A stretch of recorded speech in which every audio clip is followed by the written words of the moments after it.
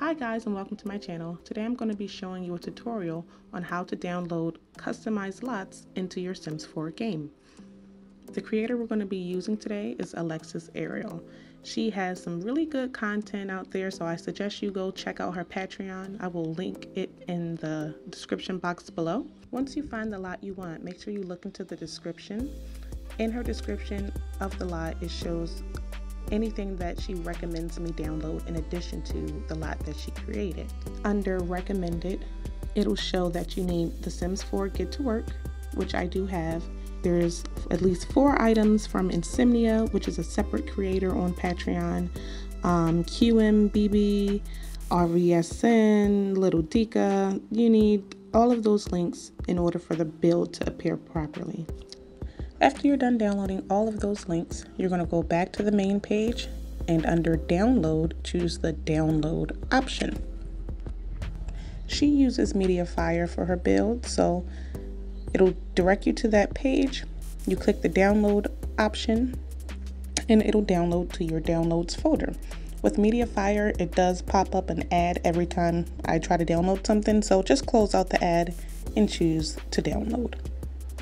Once you've downloaded everything, you can go to your downloads folder and it should look similar to this. Now, yours will look different because I already had some of those required links, so I didn't re-download those, but you should pretty much have a couple WinRAR files, some compressed zipped files, and some package files. So the first thing I do is I take away all of the package files, meaning I select all of the package files, cut them and paste them into my mods folder. In my mods folder, I don't keep too many subfolders um, because when I did that, I had a lot of duplicated mods. So what I do is um, anything that has a script mod, any mod that has a script file, like Wicked Whims, anything that changes the gameplay of your game, I keep them in separate folders, but any CC, such as objects and hairs and clothes, I like to keep loosely in my mods folder, just so I can avoid any duplication. After you cut and paste those in your mods folder, you go back to your downloads folder. Once you're back in your downloads folder, you're going to unzip all of the files that says WinRAR or compressed zip. Make sure you have WinZip and WinRAR already installed in your computer. The first one I'm going to extract is a WinRAR file. So the first thing you do is right click it, you go down to the WinRAR option and you go to extract files. Once this pops up, you click OK and you continue that process for each of the folders. After you unzip all of the files, they should look similar to this. Now you have to go through each folder. So the first folder I'm going to choose is the Alexis Ariel Outdoor Mall. When you open that folder, it has two subfolders, which is mods and tray. So I'm going to open the mods folder first. And there you have all of the package files. Anything that's a package file will go directly into your mods folder. So I'm going to select all of these files cut them and paste them into my mods folder.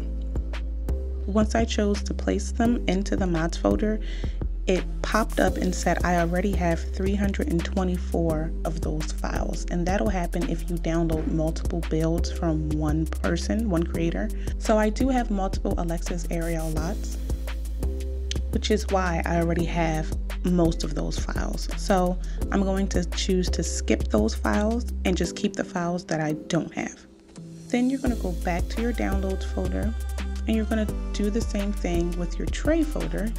You'll double click your tray folder, copy those files and paste them into your tray folder under your Electronic Arts The Sims 4 tray folder. When opening the logos cover art assets folder, there were a bunch of PNG files, and there's nowhere that you would paste those into your Sims 4 folders. So I just deleted them. I guess it's just a preview of what the actual art is going to look like in game. So just like before, you'll go back to your downloads folder. Now I'm going to choose the Newcrest folder and When you open that, it shows you have some tray files in there. So you're going to submit those into your tray folder and then you'll do the same thing with the mods and put those into your mods folder. All right, so now you go back to your downloads folder and you're going to do the same process. You're going to go through each of these folders. You're going to cut and paste those into either your mods folder if they are a package file or into your tray folder. Before going into the game, I always like to go back into the creators page and see if there's anything that shows the origin ID so it's easier to find it in the gallery. So here she has listed Lively Lex or Alexis Ariel, but in game it is listed as something different and you'll see what I'm saying.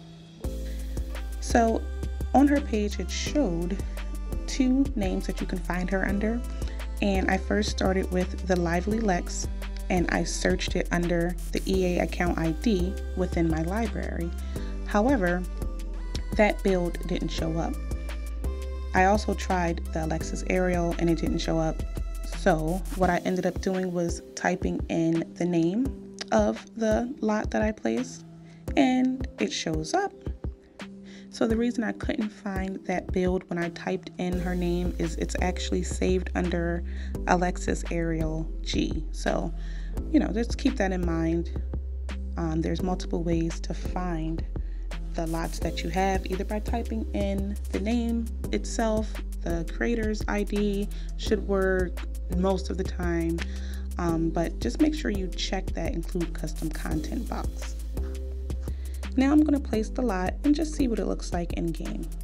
And there it is. Here's the lot placed, West Madison Plaza.